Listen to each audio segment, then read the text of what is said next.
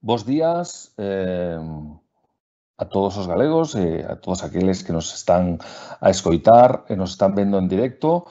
Eh, uxe, eh, nun horario un pouco pois raro para, para estas videoconferencias que estamos habituales a escoitar e a ver normalmente que se fan a tarde, uxe na sesión Bermú, como ben dixo o noso oponente, Lois Alcaide, Eh, queremos encetar, queremos comenzar a odiar as letras galegas e queremoslo facer cun persoeiro eh, para nós pouco coñecido eh, en Galicia pois coñecido por, por moitos, non? Coñecido por o presidente da Real Academia Galega, eh, por moitas outras institucións que nos, que nos recomendaron. Eh, uxe con nós teremos eh, dando a conferencia a Lois Alcaide, Lois eh, Enado en Coruña, no 97, eh, xa de moi novo, no 2016, con 18 anos, ganou o Premio Balbino en relatos polo libro Camiños, na Sombra, e no 2018 tuvo o segundo premio na cuarta edición do Mazarelos da Universidade de Santiago de Compostela gañou moitos, moitos outros premios, Fonovo que é, pero temos que decir que colabora co Diario Nos, con Sermos Galicia, ca Televisión de Galicia, bueno, eh, un sinfín. Eh, bos días, Lois. Ola, que tal? Moi bo día, un, un placer estar aquí con, con Bosco, eh, a máis nunha, nunha organización que, que sei ben que fai un traballo cultural excepcional, e eh, para min un placer. Moitas gracias por estar con nós, moitas gracias por compartir con nós este inicio das Letras Galegas que vai empezar mañá ás 12 ca, ca, co, co presidente da Real Academia, con Víctor Freixanes. Teño que decir que, que nos recomendou e que nos, e nos falou moi ben de ti, descoñecía totalmente, sei que nos seguíamos nas redes sociais, pero descoñecía o teu traballo e me gustaría pois que non, neste ano das letras galegas nos presentaras eh, a unha descoñecida para min, a profesora Xela Arias, eh, que foi moitas cousas, traductora, eh, traductora, productora, profesora, eh, poeta, editora, eh, bueno, unha adiantaba, unha adiantada creativa eh, valente, me gustaría, pois, eh, neste acto que uxe nos queres presentar titulado Construcción Popular e Procura da Identidade, que nos expliques, eh, pois, eso, eh, a túa visión eh, da nomeada este ano as Letras Galegas 2021. Bueno, en, en, primer, en primeiro lugar, moitísimas grazas polo, polo convite.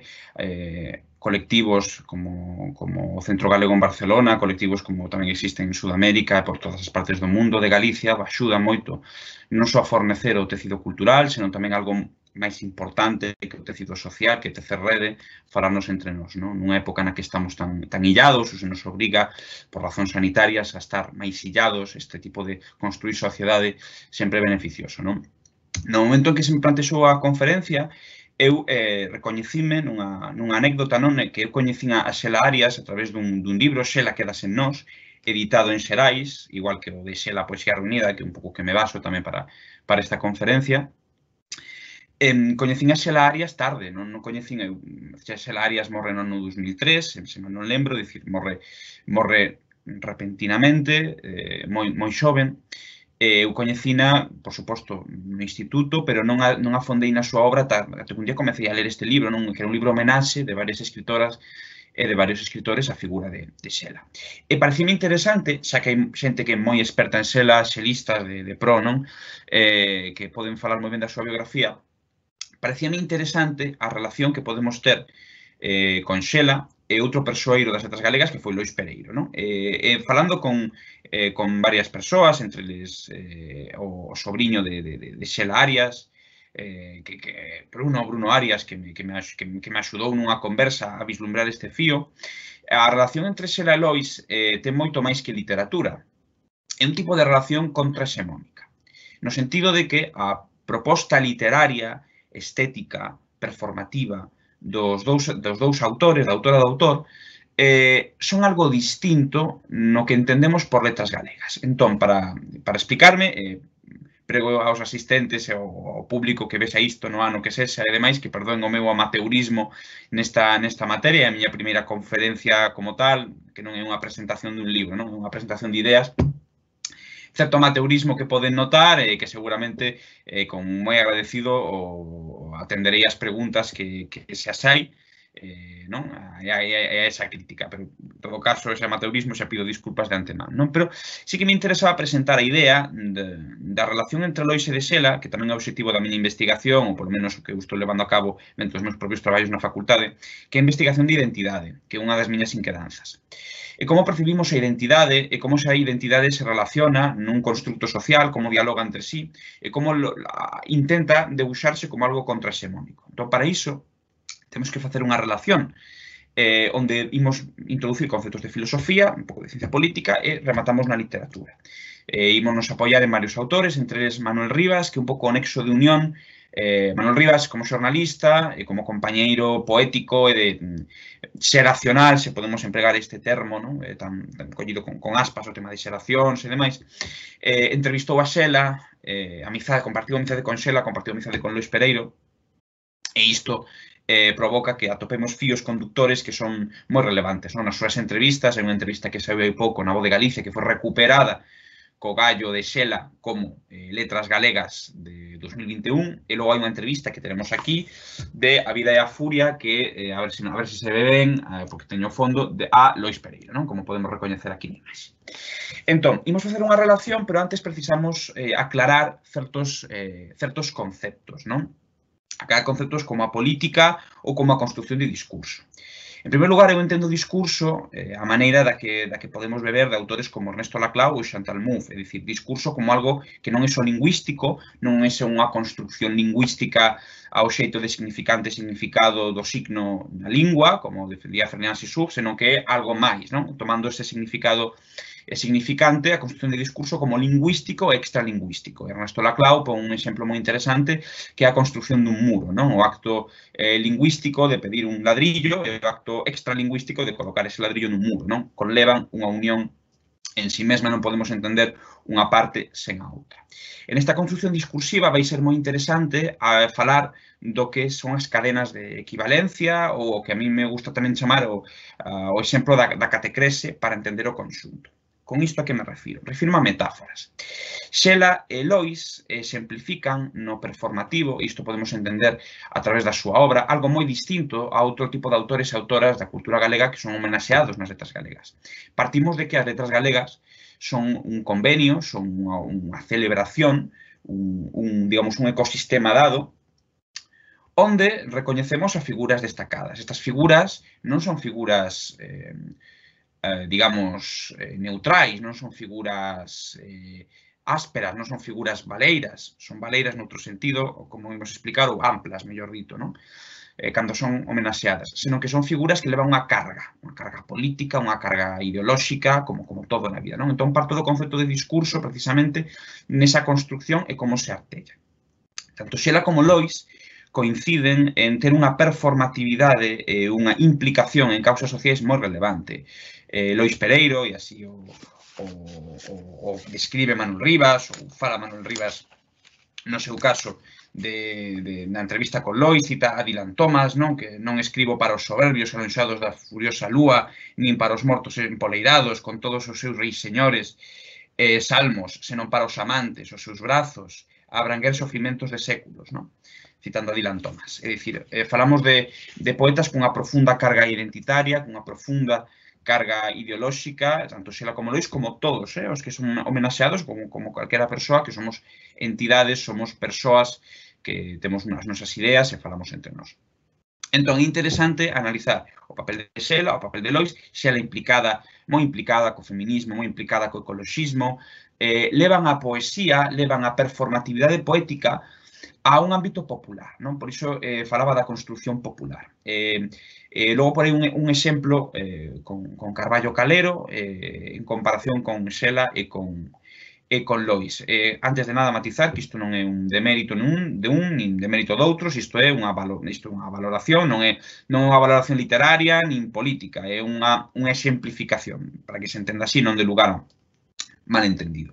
Entón, eh, partimos, eu parto dunha crítica ao político, que é unha crítica, ao, digamos, a concepción política liberal de que eh, digamos, todo todo tipo de, de ágora política é unha ágora que sempre ten que a, a buscar o consenso, ten que buscar o entendemento entre partes e ten que buscar, polo tanto, unha finalidade que está fora do discurso, é dicir, unha referencia ilustrada, fora do discurso, unha referencia científica que non pode ser valorada nin pode ser opinada, é a referencia, non? É o que autores ou autoras como Chantal Mouffe denominan a dictadura da ilustración, nese sentido. Entón partimos da construción do político, isto vai nos servir para explicar eh, como construímos o político en Col de Xela Lois, non tanto como unha ágora onde, onde hai, digamos, hai un entendemento, hai un consenso, hai un, hai un non cuestionamento das estructuras, senón como unha eterna loita hexemónica, dicir, unha eterna combate político, un combate cultural, onde se, digamos, se entrecruzan ideas e hai unhas construccións discursivas que se, que se opoñen. Non? Isto é moi interesante porque porque unha primeira crítica que eu fago a, a unha concepción meramente culturalista das letras galegas. Non? É dicir, eh, as letras galegas non só teñen unha carga cultural, teñen unha carga eh, política, e isto sabemos cando se homenaxean persoeiros non? que eh, están mencellados, ou estiveron mencellados, pois, no caso galego eh, pois co franquismo ou co, ou co, ou co anterior réxime. Non? Vemos que hai, eh, por parte de certos sectores, hai unha oposición a isto. Non? Entón, isto demostra, eh, ou vexo así que demostra, a permanente carga política que ten que teñen que a carga política que ten o simbólico, non? O simbólico e político, eh, se alguén pensa o contrario que, que podemos falar da figura do, do rei que é un cargo simbólico pero que exerce un poder político porque está inscrito nunha constitución, non? Como exemplo do simbólico que é político.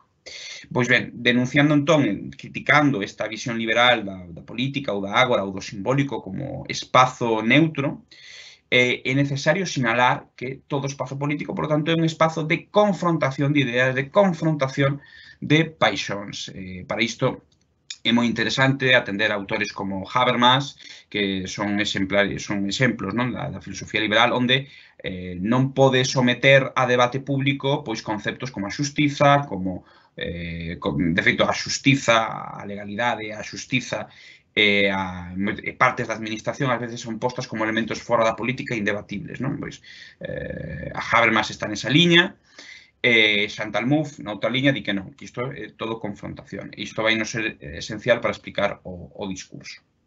Entón, partindo de que a ágora política é sempre unha ágora de confrontación e que o simbólico, por lo tanto, tamén reflicto político, de, isto, isto, pode, isto pode se simplificar cun, cun, cun suceso cotiá, non? É dicir, eh, cando valoramos algo nun contexto, por exemplo, este vaso de, de auga que podemos ver aquí, este vaso de auga agora mesmo arriba da miña mesa é un vaso de auga que eu eh, vou beber, pero se lle poño unha campa de cristal o levo a un museo e unha obra de arte e se ese vaso de auga tiro ao chan e rompe, é basura, non? É que vai a papelei. É dicir, eh, un mesmo elemento non é, é un elemento que existe, pero un elemento que nos aportamos un significado concreto eh, nun contexto determinado que sempre emana dun herdanza política, cultural, acumulada, non? E eh, a, a partir da cal interpretamos, non?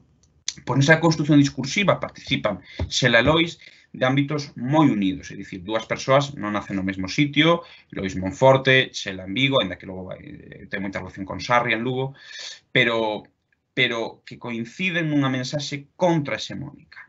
E como facemos isto? Se falamos de que as letras galegas, polo tanto, é unha construción de identidade, porque é unha construción simbólica, é interesante ver tamén que esa construción eh, simbólica se dá con certos significantes, é dicir, como artellamos un discurso? Se coincidimos en que un discurso é eh, unha construcción popular, construcción popular, construir pueblo, non? Se un discurso, algo que quere apelar, algo que forma parte, apela a masas da poboación, como artellamos? Pois con certas palabras onde, en dentro de si sí mesmas, caben moitos mundos, non? Isto o que ven sendo é unha cadena de equivalencias. Teño que explicar agora o proceso de catecrese, e o, digamos, como isto se dá, eh, logo resúmese nunha lógica equivalencial que nos dá significa que nos dá grandes palabras abertas, como poden ser Lois ou Xela, que exemplifican un compendio político contra contrahexemónico en relación co, digamos, unha cultura galega máis oficial ou máis administrativa, non? Que aí está esta posición. En Lois en Xela non atopamos autores, digamos, da lógica administrativa ou orgánica, vencellados a institucións culturais recoñecidas, senón vencellados a outro tipo de simboloxía.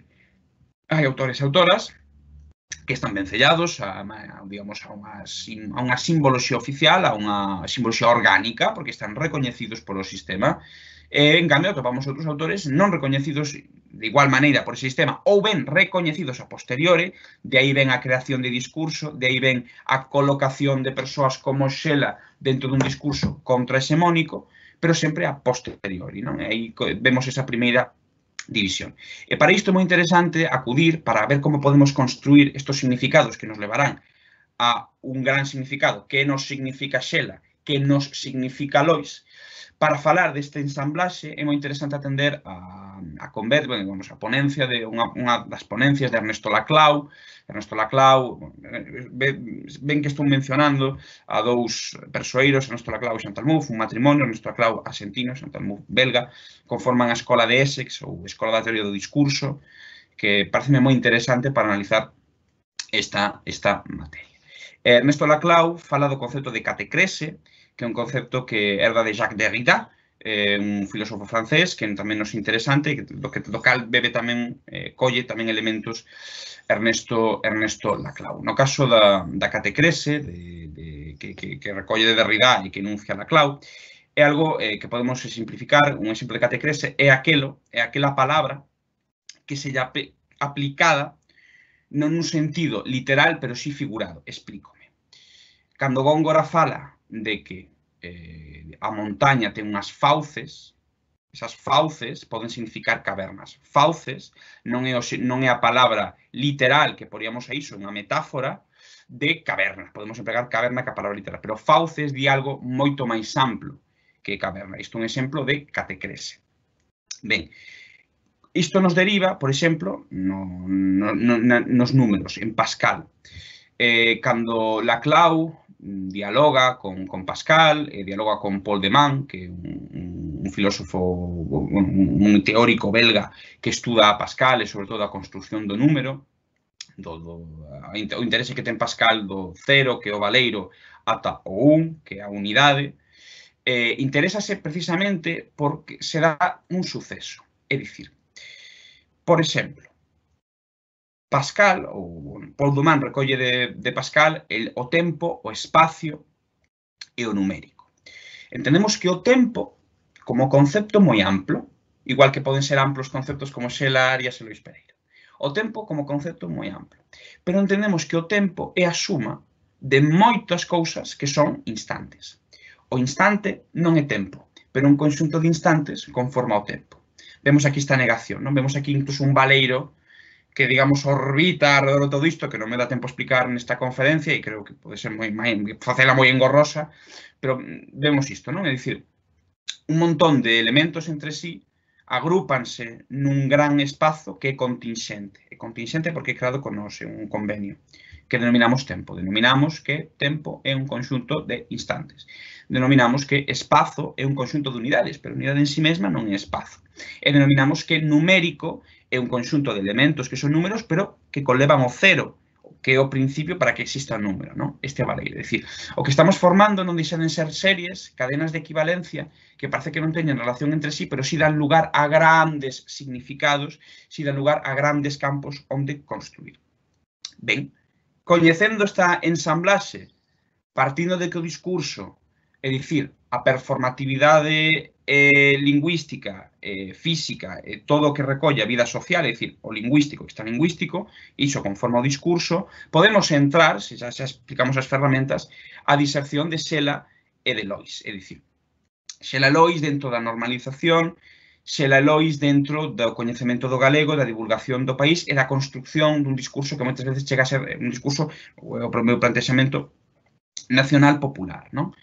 Eh, moitas veces, na construción dun discurso nacional popular, confrontase unha idea moral contra unha idea política, non? unha idea moral eh, de esencia. Non? Eu estou facendo unha crítica a esencia, eh, baso a miña crítica na esencia, por exemplo, no que la Clau fai ou nomea cando fala de Hegel, non? Eh, cando fala como que, que pasa cando falamos de esencias? Cando falamos de esencias falamos de que case non é posible un discurso, porque son esencias que veñen dadas per se por un elemento alleo á nosa existencia e por tanto non poden dialogar, non poden permearse, non poden cambiar, non? Ven así dado e así dado vendrá, basicamente. Eu son crítico nesas, en, con esas esencias, por exemplo, cando Hegel fai o discurso da dinámica histórica, non? pois hai un mecanismo, hai un terceiro hombre, hai unha terceira cosa, que está fora do mundo, que digamos é un mecanismo de loita, de loita no caso máis entender a loita de clases, é dicir, como explica máis, unha loita de clases constante que será o motor do mundo. Por tanto, hai un principio, hai un final, hai unha esencia. Eu desboto iso, eu creo que todo é construción discursiva, de aí que poda tomar má liberdade de xuntar estos, estos campos. Non? Nesa construción da identidade, por tanto, entra un conflicto eh, que é político, que, que, que é de identidades, non? É a construción de identidade do que significa Xela e do que significa Lois. E volvemos a Xela, por exemplo, un poema que eu quero destacar, que é do libro Tigres como a cabalos, eh, bueno, Xela, nesa performatividade discursiva, é contrahexemónica. Por que contrahexemónica? Por, por que? Porque cando falamos de Xela Arias, falamos de repente de feminismo. Cando falamos de Xela Arias, falamos de repente de eh, Galicia. Galicia como nación. Cando falamos de xelarias, falamos de galego. Incluso, varios significantes eh, o, da, aportan un, un significado total como xelarias, como democracia, como feminismo, Dicir, dentro de xela, cando, non sei se lembran, cando falábamos a comezo de palabras moi amplas onde caben moitas cousas, entendemos todo iso, democracia, feminismo, Galicia, galego, entendemos moitas cousas. Cando falamos de Carballo Calero tamén, Carballo Calero non só era un señor moi simpático, calvo, que, que escribía moi ben, senón que entendemos que é un, ten, é un entorax que alberga un montón de significados distintos cos cales entendemos o discurso concreto de Carballo Calero. Entón, neste caso, o discurso concreto de Xela. Podemos poñer outro exemplo que de feito pon Ernesto Laclau no caso argentino, eh, que é o Perón. No? Eh, Perón eh, chegou a simbolizar moitas cousas, cando, sobre todo a partir dos 50, 60, o recrudecemento autoritario en Argentina e eh, o retroceso, eh, digamos que o militar, bueno, o retroceso conservador en Argentina, ultra, eh, Perón chegou a significar moitas cousas, ata o punto de que, de repente, un montón de demandas sociais víanse identificadas con Perón que isto logo chegou a un conflito, porque cando Perón volve a poder, non pode dar respostas ás demandas sociais, é dicir, o, o significado amplo que Perón alberga un montón de demandas que van dende unha mellora das condicións de vida, dende unha mellora de educación, dende unha mellora dos transportes, caben en Perón. Ata o punto de que, eh, en simplificar nesto Laclau, eh, estaba a anécdota dunha, dunha muller que quería abortar nun hospital argentino, non lle deixaron, eh, bueno, moi enfadada a saída, agarrou o zapato, escap, bueno, o cristal do hospital e dixo viva Perón, hijos de puta, ¿no? É dicir, esa relación entre un montón de demandas de xeito filosófico, construción filosófica que explicamos ao comezo, e o zapato que golpea un cristal e grita Perón, hijo de, eh, viva Perón, hijos de puta, dicir, eh, ensalzar a figura de Perón como significante amplio, ocorre con, to, con moitos aspectos, ocorre con, co, co feminismo en sí, co que entendemos en sí en democracia, que, que entendemos que é a democracia, que entendemos que é o feminismo, que eu defendo que son espazos que están sempre en conflicto. A democracia non será o mesmo para o meu irmán que para min, ou que a miña nai, ou si que podemos compartir certas relacións que nos fan unha unidade, non? Que estamos vendo con isto? Que temos unha relación de afectos de afectos ou de paixóns, mellor dito, de emo, non me gusta tanto a palabra emoción como sea de paixón, de paixóns entre nós, que son paixóns que poden ser agregativas, é dicir, paixóns que nos unen en col de significados ou de metas eh, coas cales nos identificamos, porque son identidades que unen. Para isto moi interesante, hai un, hai un, hai un pequeno libro que me prestou un gran amigo, Pablo Calviño, para, para entender un pouco todo isto, que é dun, dun creador eh, en internet, en redes sociais, que se chama Neuroaceleradísima, que eu tendo entendido tamén que está vencellado ao mundo universitario, que menciona para isto a Spinoza, non? Eh, o filósofo Spinoza que entendía, pois digamos, eh, corpos, digamos como, digamos como elementos unidos, o, o mundo está conformado por corpos que se atraen ou se repelen non? a través de identidade. Eu me podo sentir máis identificado con Xela ou con Lois porque a súa identidade ten un sentido de afecto cara a miña dous exemplos, un exemplo de como repeler a identidade. Un dedo é unha chama de lume. O dedo, eh, si, eh, sin tedor, porque o lume desbota a súa identidade, arranca a súa identidade. O lume fai dano ao dedo porque queima o dedo, desintegra finalmente, se continuara esa chama, o dedo, quedaríamos sen el. E con iso nos pasa coas identidades na nosa relación no mundo. Identificámonos con persoeiros, con figuras das letras galegas ou non nos identificamos, Logo, esta orientación de identificación, quero explicar por que pode ser favorable para unha normalización lingüística, que eh, unha dinamización, unha normalización lingüística, que de feito é o obxectivo das letras galegas, con, non o comentei tamén ao principio, pero é interesante, a dinamización e a normalización lingüística eh, é obxectivo pois, por parte de todas as entidades, a academia, a xunta, entendo que esa dinamización do galego, non?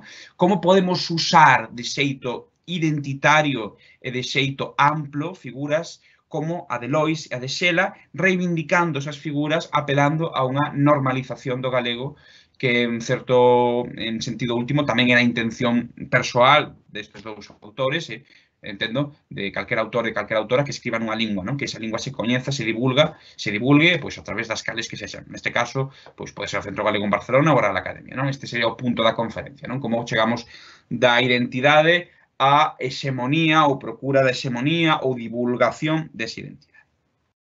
Pois ben, entendendo entón que nos agrupamos por identidades, como no, no caso de Spinoza é moi interesante, a, a relacións constitutivas, é dicir, eh, eu voto a un partido ou son dun grupo de amigos porque teño unhas relacións constitutivas de afecto para con ese partido, ese conxunto de xente ou ese conxunto de ideas ou, no caso do meu grupo de amigos, para con ese grupo de persoas. Unhas relacións constitutivas que serán unidades e nos relacionamos entre sí. Os grupos se relacionan entre sí por, eh, por amor ou por animadversión. Non? Pois no caso de, de Sela atopamos unha identidade contraxemónica, unha identidade eh, crítica, unha identidade que bebe precisamente dese conflicto eterno político. Non? E teño aquí un exemplo que me parece moi revelador de Tigres como a Cabalos, eh, que é un libro que consta das fotografías de Xulio Gil, eh, que é moi interesante porque nunha entrevista de Manuel Rivas a Xela Arias sabemos non que, que foi moi criticada esta perspectiva de fotografías, son fotografías núas, eh, Xela Arias nunca, eh, segundo entendemos desa entrevista, non as ve como unha provocación, senón como unha realización de liberdade. Non? eh, en cambio, o propio Rivas advirte na entrevista, non? Di, eh, con ironía, non? Di, eh, abstéñanse, pois, mojigatos, eh, demais caterva, non? É dicir, eh, digamos, eh, por dicirlo nun contexto, eh, como dicilo, moi pueril ou moi básico, me apilas, non? Basicamente, é dicir, eh, eh, o que Xela entende como un exercicio de liberdade foi entendido como un exercicio de provocación, non? aquí volvemos a ver unha colisión identitaria, non? Algo que realizamos como a reivindicación de identidade da liberdade colisiona co, co magma social pois igual máis conservador ou cunha hexemonía máis conservadora respecto da mensaxe que quería emitir Xela. Entón temos este libro eh, que intento poñelo así porque bueno, como vedes teño como ven, teño un fondo que oculta, non, pero distingue aquí o libro e a fotografía, é dunha compilación maravillosa de Xerais, que é poesía reunida, eh, este destaque de tiros como cabalos días sí, non? Imos entender aquí un pouco o que estamos comentando antes. Tíralle as súas tristes fábricas de exércitos inoculados de acomodo. Entraos de ti e tíralles. Os cadáveres da preguiza acorda, doutros erros victorias as caídas e despistes que en ti fixeron ollos de tempas e dos dedos. Nega o medo, dá a túa risa, arrima os días e na punta alta do odio coloca xunto a min o necesario desespero. Este poema é interesantísimo, porque a través deste poema entendemos moitos conceptos que conformarán, como lembran cando falábamos antes das cadenas de signifide, digamos, as, as cadenas de equivalencias ou as cadenas, digamos, de metáforas ou as cadenas de catecreses, se entendemos así, non? Lembran o exemplo que poñíamos do tempo, non? O tempo é unha consecución de instantes, un instante non explica o tempo, pero un conxunto de instantes son o tempo, non? Pois un conxunto de fenómenos explican o que é Xela, e un conxunto de fenómenos entendemos o discurso de, de Xela, non? O segundo verso di, eh, bueno, repito, tira, eh, comeza, tíralle as súas tristes fábricas de exércitos inoculados de acomodo, non? Aquí hai unha relación interesantísima entre Xela Rivas como fío conductor e Lois Pereiro, que é a loita constante contra o conformismo, que engarza nesa concepción da política como algo que non nos ven dado, senón que construímos, como algo que non é lugar de, media, de mediación ou lugar de procura dun elemento externo que nos dará a razón con mayúsculas e, polo tanto, non está sometido á arbitrariedade política, senón como unha constante loita contra o comodo, unha constante loita contra o inconformismo, contra a, o non cuestionamento, non? inoculados da comodo. E logo hai outro, que xa é o, o quinto verso polo final, que é nega o medo, dá a túa risa. Unha das eh, cousas que unen a, a Lois, que unen a, a Xela e que unen a Rivas, é a constante limpeza do medo. Non se collemos eh, referencias eh, pois aquí escritas de Manuel Rivas, de Contra todo esto, ou, ou Zona a defender, que os teño aquí tamén, Eh, entendemos este lenguaje del imparomedo. ¿Qué significa el imparomedo? Tenemos que entender aquí, eh, si ya analizamos as ferramentas nas cales nos estamos movendo ou as expuñemos, os puxemos de forma moi breve, porque expoñer o que entendemos por discurso, construción política, construcción hexemónica, xa o fixeron moito mellor Ernesto Laclau e Chantal Mouffe, aquí levaría 4 horas. Temos que diseccionar que entendemos por hexemónico contra hexemónico. Eh, tanto Xela como Lois eh, nacen, eh, non, non, non, non nacen, perdón, desenrolan a súa vida, desenvolven a súa vida nun contexto hexemónico, digamos, eh, conservador, neoliberal, é dicir, un pacto social distinto ao pacto social que podemos entender no pacto social da posguerra, non? da posguerra mundial, refírome, que era máis de corte keynesiano socialdemócrata, non de inversión pública.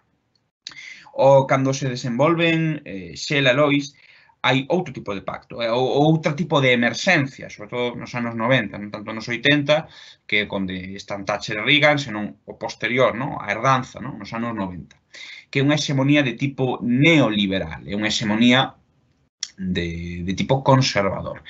E ante iso, eh, hai, unha, hai unha disección moi importante, non? unha referencia constante a limpar o medo e a procura de identidade, na entrevista que, que Lois lle concede a Rivas, que de feito é a última entrevista que recolle Luces de Galicia, no seu número 28, non no 97. Fala, eh, de feito, inspírase en grande maneira en, en, en Dylan Thomas e demais, nesa procura da, da incomodidade, do inconformismo, da liberdade. Vemos en Lois en Xela, e aquí seguimos profundizando no discurso político de Lois en Xela, unha eterna procura da liberdade. A liberdade, entón, volvemos a xela como negar o medo. E entendemos que, entón, liberdade, segundo este constructo que estamos armando, é negar o medo. E pode ser negar o medo a un sistema que nos vai deixando cada vez máis illados, non? que nos vai deixando cada vez máis espallados, que nos vai deixando cada vez sen menos tecido eh, social, sen menos tecido asociativo, un sistema eh, pois que non lle gustan eh, nin sindicatos, nin asociacións veciñais, nin centros eh, galegos, porque eso, esas cousas configuran unión de xente moi distinta, que pensa moi distinto, pero que conforma unha afinidade, mm, digamos, cultural e expresiva e atopa ágoras comuns para expresarse. Non? Entón, moi interesante como ese discurso contrahexemónico ven da raíz da liberdade. Non? E podemos retrotraernos nisto, incluso tal vez que a mí. Albert Camus eh, neste triángulo que imos creando entre Rivas, eh, Lois e Xela, enfoca, focalizando obviamente a Xela e a Lois neste caso por as letras galegas, ten que ver tamén Camí nesa intención que recolle Camí, non? Eh, que recolleu na súa obra xornalística con Bae, que tamén recolleu en, en, en escritos, en artigos, que a negación é o principio da liberdade. Volvemos ao verso de Xela. Nega o medo. E di a vez Camí, Dicir non é un principio de liberdade. O escravo, cando lle din non ao amo, non lle di só non mm, por un xeito de reacción, non? Un conductista diría, eh, un, un, un filósofo, un teórico da escola conductista diría que o escravo lle di non ao amo porque o amo lle acaba de pegar e o escravo reacciona emitindo un son gutural que é un berro e di non. Gaudí non, non só porque queira a posición do amo, senón porque é consciente dunha longa cadea de equivalencias, e volvemos ao mesmo, de sucesos que teñen relación entre sí, aínda que sí, por sí sós non explican o conxunto, eh, cadenas de abusos, de eh, violación de, de, de, de, mérito, de, destrucción da súa liberdade, que chega, eh, chega a decir non. Entón, Albert Camus entende ese non como un principio de liberdade, como un principio activo de liberdade. Esa negación como a construcción da democracia. E volvemos a xela, nega o medo. Negar, medo. De repente entendemos que dentro de xela Arias cabe a negación do medo, cabe a negación dunha hexemonía cabe unha proposta política contra hexemónica. Non? E remata o poema na punta alta do odio coloca xunto a min o necesario desespero. O desespero e o odio ten moito que ver co que eh, exemplificamos na escola do discurso volvendo a Chantal Mouffe. concibo político, eh, isto recolle de Carl Schmitt, que era o cronjurist do, digamos, Carl Schmitt, hai que matizar aquí, non? Carl Schmitt para que non o coñeza, eh, é un filósofo que estivo moi vencellado co auxe do, do, do nazismo, pero que Chantal Mouffe, que é unha pensadora de esquerdas, mm, recolle porque lle parece interesante a crítica que fai a democracia de consensos, é dicir, obviamente matizando ao Carl Schmitt que justifica a destrucción física do oponente, para nada, non? É dicir, é o que no que entra Chantal Mouffe é nesa concepción de que a política non deixa de ser un un xogo amigo-enemigo, pero co coa matización democrática, e isto recolle tamén Mouffe, recollo eu, obviamente, é dun, dunha posibilidade dunha democracia plural e dun recoñecemento do que nesa relación amigo-inimigo inicial de Carl Schmitt nos matizamos e dicimos, non, non, é unha relación adversarial, é dicir, somos adversarios, é dicir, hai unha, hai unha oponencia, pero esa oponencia ten que ser en vías democráticas e con respecto absoluto ao oponente, entendendo que estamos nunha situación onde non nos imos poñer de acordo e onde non existe unha referencia extradiscursiva Eh, isto explico dunha maneira moi, moi, moi clara. Non? Moitas veces, cando se fala de economía, eh, sempre se alude a experto, a, ao grado de experto ou de experta da persoa, ao grado de coñecemento científico económico para justificar certas medidas. Bueno, hai medidas, que estamos vendo ademais nos nosos días que de repente os mesmos expertos que propoñían austeridade hai dez anos agora falan de keynesianismo, falan de inyección pública, non? De, de, É dicir, eh, o técnico moitas veces, isto é unha crítica que tamén fago, que fai Chantal Mouffe, a teoría pura liberal, non? O, o teórico non é sinónimo de real, nin é sinónimo de, de, de ecuánime nin é sinónimo de, de neutro. O teórico sempre ten unha argumentación eh, ten unhas consecuencias políticas sempre. Non? Eh, Marx tamén era teórico, eh, Habermas tamén son teóricos, eh, polo xeito de manexar moita información, non quere dicir que non sexan persoas totalmente opostas no, no, no ideolóxico con notables eh, diferencias. Entón, nesta construcción discursiva, eh, entendendo que hai unha punta alta do odio, é dicir, hai un enfado, hai unha xenreira, colocamos un necesario desespero. Ese necesario desespero é a procura do futuro. Non? Entón é moi interesante nesa construcción como eh, Xela, como Lois, que non, me centro tanto na poesía de Lois porque non teríamos tempo, pero si na, nesa vontade persoal e performativa, non? cando fala, de feito na, na entrevista que lle concede a Rivas, temos aquí un extracto, eh, eh, eh, eh respóndelle a unha reflexión de Rivas Luis Pereiro, non? Dille, sí, é certo, eu sería un bo exemplo do perigo que supón a non separación, os fortes vínculos entre o noso oficio e a fosca arte, como dicía Tilan Thomas no seu poema, a nosa propia vida. Pero eu tampouco creo que o autor e a súa obra poidan separarse, como fai un carpinteiro ou un funcionario de correos despois de ter rematado o seu traballo. De feito, creo que cada vez máis na íntima relación estética, que, de feito, creo cada vez máis na íntima relación estética e moral dun artista e a súa arte. Góstame que o escritor do que admiro, o que escribe, poda ser admirado tamén como eh, persoa. En canto a este libro de poemas que acabo de escribir, como sentíndome dentro dos dominios dunha urxencia de morada e aprazada, nace dunha iluminación do meu corpo case resucitado. Non? Este, este, este impulso, que é un impulso político, vemos que en, en, en Lois hai algo tremendamente vanguardista, que é a relación que é a perda de lugar privilexiado do autor como lugar neutro e non crítico. Non? Lois, no ano 97, xa baixa ao autor a unha posición política e, polo tanto, unha posición presta a confrontación. Esa, esa confrontación non ten que ser nada malo. De feito, partimos de que esa confrontación ten que ser admitida, é dicir, temos que admitir que vai a existir para veiculizala, esas, veiculizar esas paixóns a través de vías democráticas ou, no caso das vías culturais, de diálogo e de discurso. Entón, recapitulando, entendemos a Xela e a Lois como, digamos, significantes ou elementos moi amplos onde caben moitos discursos, no caso de Xela, feminismo, eh, democracia, ecoloxismo incluso, no caso de Lois, eh, digamos, vencellar o, art, o autor e o, arti, o autor e o contido, eh, o, o persoal, mellor dito, vocación contra cultural no sentido hexemónico, vemos que son significantes moi amplos que poden ser empregados nas letras galegas, que poden ser empregados para a normalización, para a dinamización, eu prefiro normalización, eh, do galego. E aquí pasamos á segunda parte, non?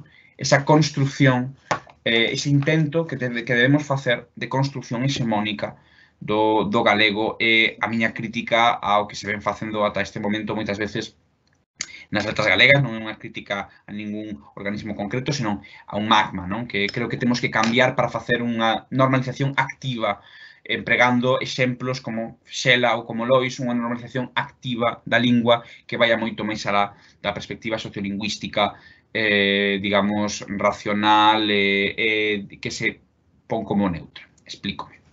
Moitas veces, eh, cando divulgamos as letras galegas, temos unha perspectiva eh, neutra no sentido de que creemos que por divulgar datos de perda de falantes, por eh, divulgar datos históricos eh, ou apelidos que se perderon ou xentilicios que se lles deturpou o nome, se lles cambiou, na ditadura, por exemplo, vai haber unha recuperación instantánea de falantes. Se ven a, o público asistente, isto ten unha relación co que expliquei ao comezo.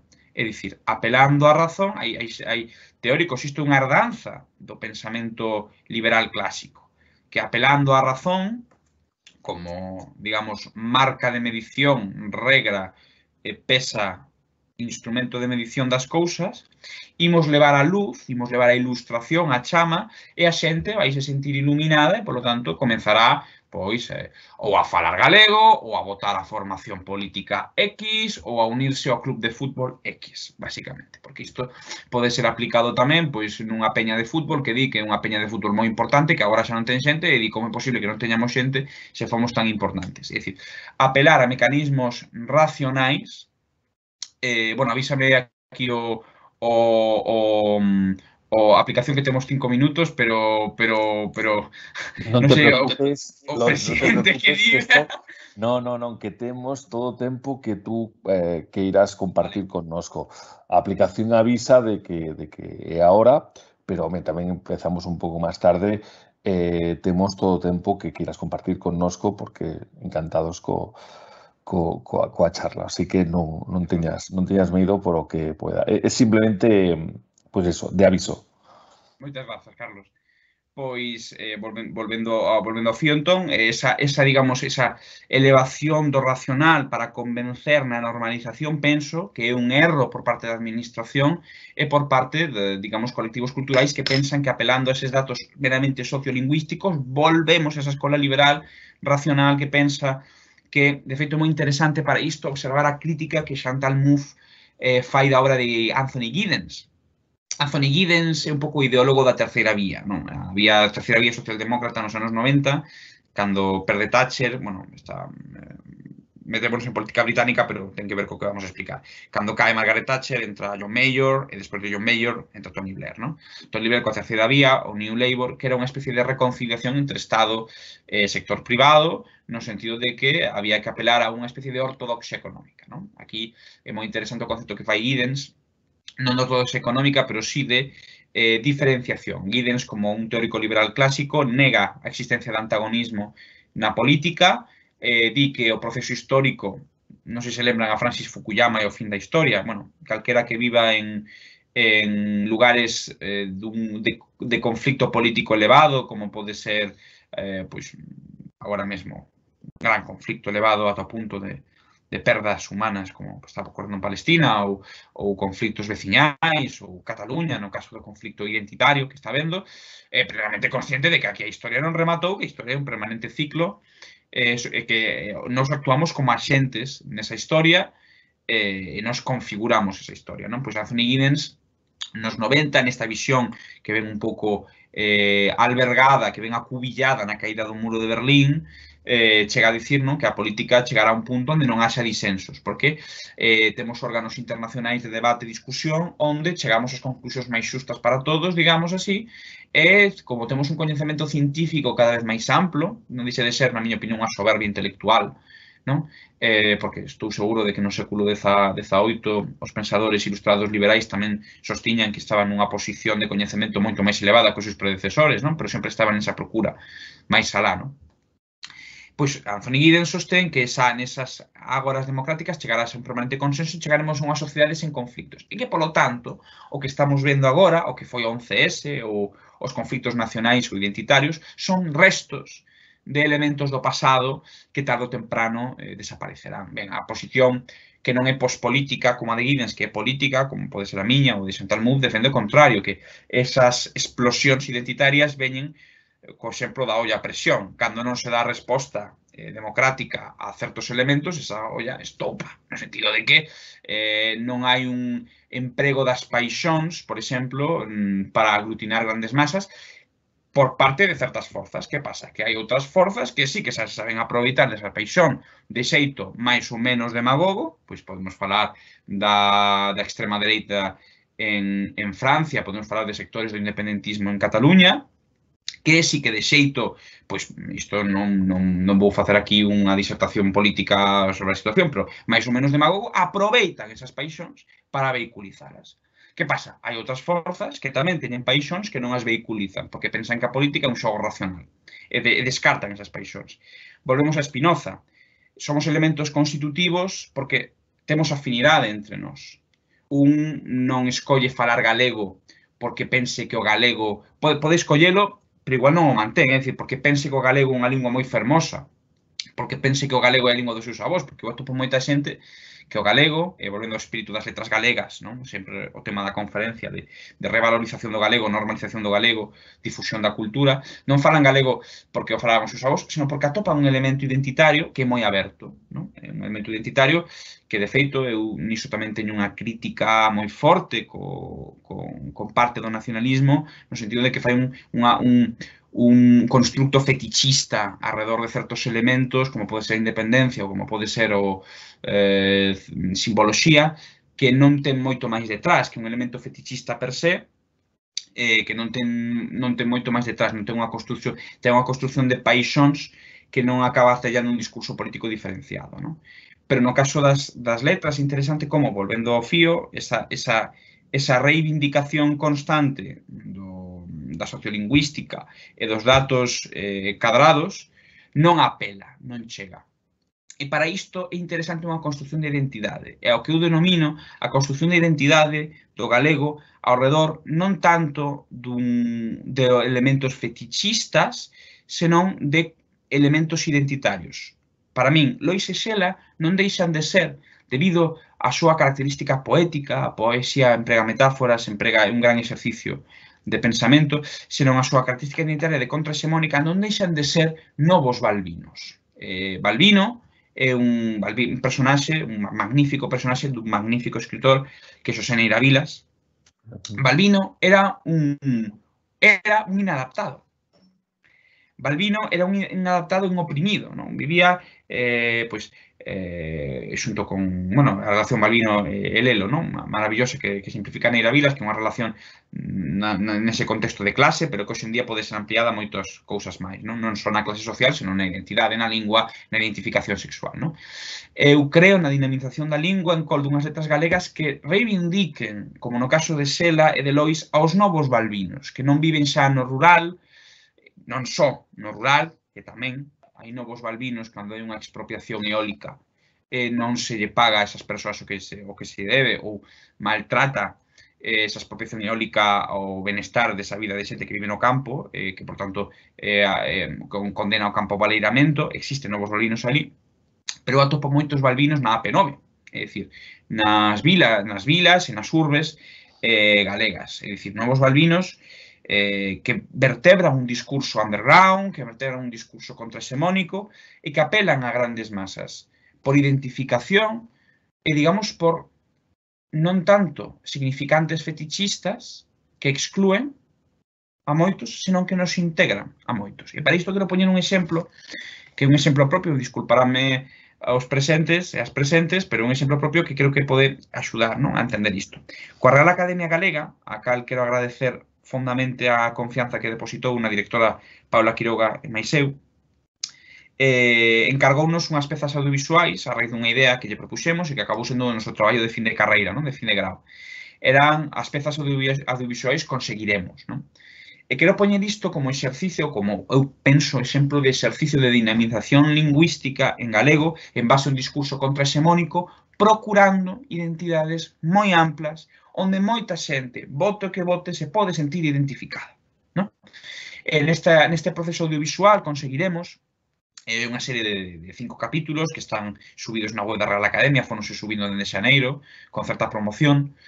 Eh, queríamos falar da divulgación do galego incluso desbotando significantes de autoría, significantes de autoría poden ser o caso de Xela ou o caso de Lois, porque creíamos que xa eran significantes que xa estaban moi aproveitados por parte da academia na reivindicación institucional ou na reivindicación cultural, non? Entón queríamos movernos dese ámbito. Como falamos do galego normalizando o galego sen caer en, pois o galego é algo super guai e tens que falalo, ou o galego é algo eh, que tens que falar porque é a túa patria, é a túa nación, é a túa é a túa tal, é dicir, eh, que eran, notábamos tanto a directora Paula Quiroga, que por certo está estudando agora en Barcelona, moi ben acollida polos galegos que están allí, que están ali, eh, en, en Nascac, está agora eh, un mestrado en, en fotografía eh, dirección, dirección fotográfica das CAC, tivemos esta conversa, ¿no? onde estábamos falando destos conceptos teóricos, que vostedes ven que hai unha explicación teórica filosófica, de forma moi pragmática, de forma moi real, é dicir, como apelamos a grandes masas, é dicir, público audiovisual que nos vai ver por televisión ou por redes sociais ou por, por ordenador, na, na web da RAC, como apelamos a esta xente para non convencela de que fale galego, se non interesada. Digamos que eh, para nós o importante era chegar a ese 5% de, de nós mesmos que se ven, non queremos convencelo nin convertilo, queremos que se interese, non? Queremos que engarce os seus intereses con parte do que queremos propoñer. E que puxemos en riba da mesa? Puxemos en riba da mesa cinco episodios. Cada episodio cunha temática moi concreta onde tiñamos unha conducción discursiva basada nun referente nun retrucante. O referente ou a referente é unha persoa establecida dentro dunha área cultural menos a literaria, porque, insisto, queríamos sacar dese tema que queríamos queimado na divulgación do galego, sempre se vencei o galego coa literatura e o galego moito máis, é unha maneira de ver o mundo, é unha maneira de estar no mundo, é unha maneira laica de estar no mundo. Non? A min gusta moito reivindicar a palabra laico no sentido de que caben moitas cousas, non, non é unha identidade excluinte, recalco isto, non? senón unha identidade aberta, incluinte, unha maneira laica de estar no mundo. Eh, precisamente, como, como que áreas da cultura tocamos? Pois tocamos a ciencia, tocamos o deporte, tocamos o teatro, eh, ciencia, deporte, teatro, cinema e música. Non? Esas son as áreas eran referentes, temos un retrucante, un referente, retrucante é unha persoa da nosa idade, 20, 20 e pico, que quere aspirar a ser como seu referente. Non? Pois tiñemos de referentes a Bayuca, no caso musical, a Andrés Goteira, o director de Docs, no caso do cinematográfico, eh, no, no, caso, no caso do, do teatro, as rapazas da panadería, con Elisa Marcela, é dicir, queríamos identificar as persoas, aos, aos, aos, aos, aos, ao público, con elementos abertos que, se, que, que, que estaban nesas conversas. Por exemplo, temos un episodio que é entre o, o profesor Carracedo, que seguramente todos ustedes coñezan, e Iria Veiga, non? E falando da ciencia, da ciencia como ferramenta democrática, da ciencia como ferramenta de coñecemento. Falamos, insisto, de significantes moi amplos onde todo o mundo se pode sentir incluído. E esa ciencia está en galego. E non pasa nada porque está en galego nin, nin mata ninguén, nin rompe nada. É, todo o contrario, unha reivindicación do coñecemento. Por que? Aquí volvemos a identidade aberta. Iria, que sí que atrae a nosa referente, aí fixemos unha inversión de papéis, é dicir, Iria convirtese en referente e Carracedo en retrucante, Carracedo quere aprender de Iria, que é unha rapaza máis joven. Eh, Iria comenta que cando entrou a traballar na psiquiatría en, eh, nun hospital no rural, tiña que falar galego, é dicir, era, falaba galego, pero viuse reforzada nesa idea cando vie, cando vie que os seus pacientes falaban galego, entón, falar galego para ela xa non era só un acto identitario, sino un acto relacional e comunicacional coa xente que lle rodeaba. E os pacientes sentíanse cómodos con ela falando en galego, non en castelán. Tiña compañeiras e compañeiros que falaban castelán e iso eh, procuraba unha distancia entre paciente e médico que, eh, que moitas veces incluso dificultaba a diagnose. Non? Pois con elementos así, con elementos que sempre son identitarios, pero son cunha identidade laica e aberta, construímos unha normalización. Non? Eu creo, e volvo aos dous persoeiros, tanto a Xela como a Lois, Xela, mestra, Xela, poeta, Xela, activista, activista da democracia, podemos construir novos balbinos a través das paixóns e non temos que ter medo a empregar as paixóns como mecanismo de normalización lingüística, porque moitas veces as paixóns son empregadas polo outro lado eh, para, para desbotar o galego de lingua vehicular ou de lingua de, de, de, de, de cultura, non? É dicir, eh, creo que tanto Lois como Xela son exemplos onde os fetiches eh, son desbotados para transmitir unha mensaxe contraxemónica, rupturista e cun discurso forte, fortemente, eh, fortemente constructivo na contraxemonía por outro tipo de sistema, pero tamén pola divulgación do galego, que ten que ver, e volvemos a Lois Pereiro, coa relación co compromiso, non? E un pouco aquí onde teño que pechar, porque senón isto vai se alongar moitísimo. Un, vou pechar con un último exemplo, non? Que se deu entre figuras que poden ser similares, pero que teñen orixes diferentes, non? Era Carballo Calero, en este caso Xelarias. Non é obxectivo meu establecer unha comparación, que non a vou facer, ninguna valoración, é dicir, eu eh, son admirador de feito, isto persoal, tanto de que da obra de Carballo, maravilloso Escorpio, como de, de, de Xela Arias, non? é dicir, un admirador das dúas figuras. Pero sí que para min ver a reacción que hai, non? Eh, que curioso, no caso de Lois e de Xela, houve unha reacción popular moi positiva.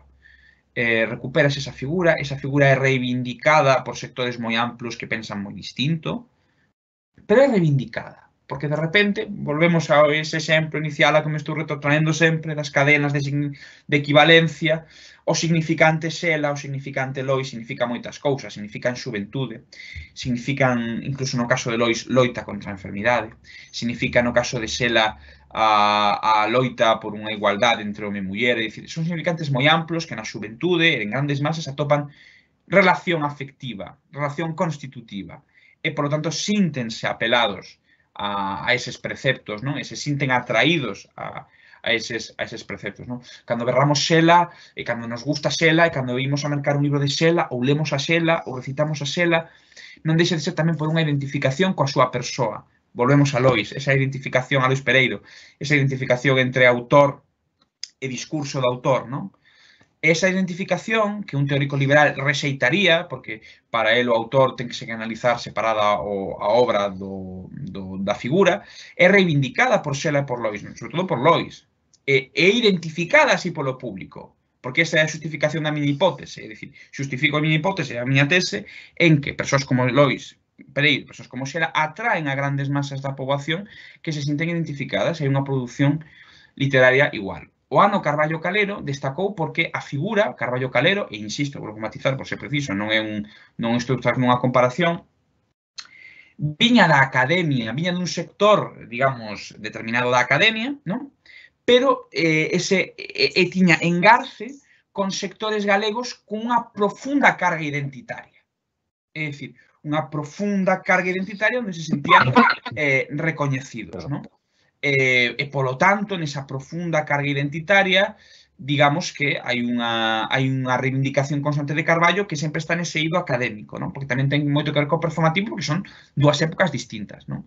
Onde cambia Xela, onde cambia Lois? Pois que todo ese eido académico o baixan a terra, non? o levan á praza, o levan á discoteca, o levan ao pub, o levan ao bar, eh, o levan a recitais eh, no campo, é unha escola que practica aínda con moito atino e con moi moita pericia Manuel Rivas, non esa baixada constante, non? E mesmo eh, mm, recolle unha das cartas de, de Mars, a, creo que era unha carta de Mars a Engels, onde lle di eh, onde lle di que a, a vergoña é un primeiro estado non? De, de, de rebelión, e logo hai unhas cartas, creo que de Víctor Hugo, non? que escribe un amigo que lle di non podo seguir nesta atalaya nesta torre de marfil mentres me inunda a merda por debaixo. Non Esa baixada constante ao povo, a construción popular, a identificación coas masas, que é tamén moi interesante incluso, e aquí xa remato a lazada, con Federico García Lorca, que dicía eh, que non quería recoller o ramo da azucena, senón que quería baixar o barro e collelas. Non Lorca, que levou coa barraca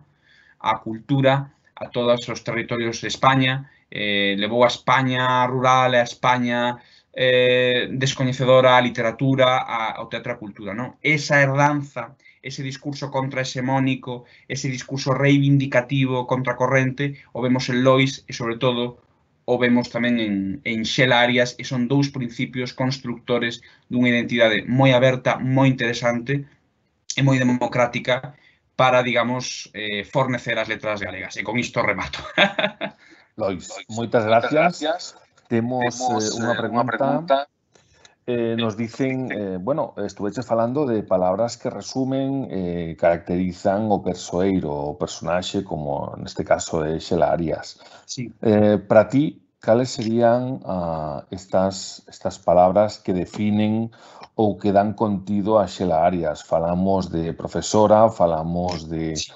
Eh, de moitos conceptos, non? Pero cal serían as tres, cuatro palabras que que definirían a este persoeiro polo cual este ah, ano eh, elexímolo ou, ou elexímola como, como personaxe da, eh, central das letras galegas?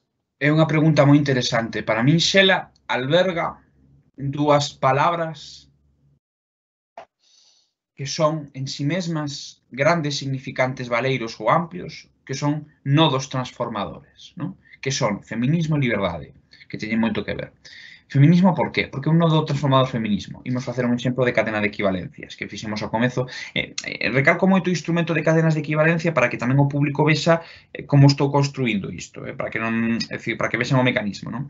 Por exemplo, que entendemos por feminismo? Entendemos por feminismo que a muller é igual ao home no político, que este primer feminismo sufraxista, bueno, hai autoras que ainda non o consideran feminismo, pero bueno, podemos englobalo ali, Entendemos entón que se a muller é igual ao home no político, tamén o ten que ser na casa.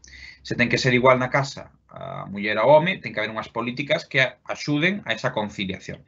Se teñen que haber políticas que axuden a esa conciliación, ten que haber unha redistribución económica, un Estado que redistribúa certos recursos para adicalos a políticas de reconciliación etcétera, etcétera, etcétera. É dicir, o feminismo temos unha panca transformadora da sociedade. Unha panca que coloca na punta alta da, do odio ou na punta alta eh, na poesía, pero na pragmática, na punta alta da resposta, o desespero, a indignación e, polo tanto, a procura dun futuro mellor. E no caso da liberdade, eh, volvendo a este poema de Xela que me parece esencial, eu personalmente o meu libro favorito daría o diario. Porque é moi tenro, eh, eh, aquí estamos cunha, cun discurso eh, identi eh, de construción popular, de identidade aberta, non? Pero eh, noutro, noutro tipo de conferencia eu mencionaría daría o diario, non? Como, como tamén a, a explicación da tenrura maternal, a reivindicación eh, dun, dunha relación materno-filial brutal, brutal, non?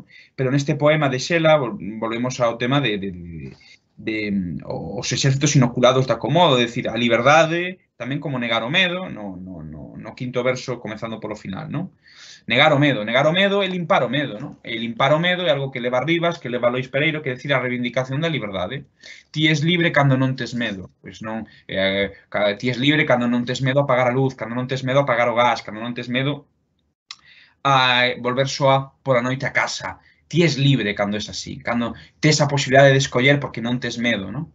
El negar o medo eh, forma parte da liberdade, forma parte tamén do feminismo, e para min feminismo, liberdade son dúas palabras principais. Tamén mestra. Hai unha palabra que, de feito, na, eh, eh, eh, o lema, non? un pouco da, da campaña en Grazas Mestra. Non?